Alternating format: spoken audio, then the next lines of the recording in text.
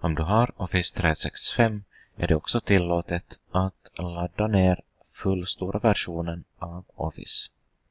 Och det gör du på följande sätt. Du går till äh, mailen i Office 365.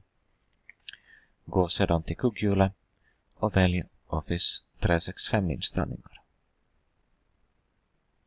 Därefter går du till programvara, installera och hantera.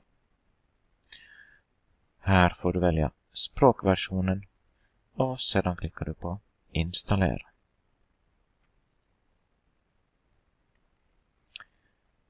Installationsprogrammet hämtas och du går till nedladdningar och startar det.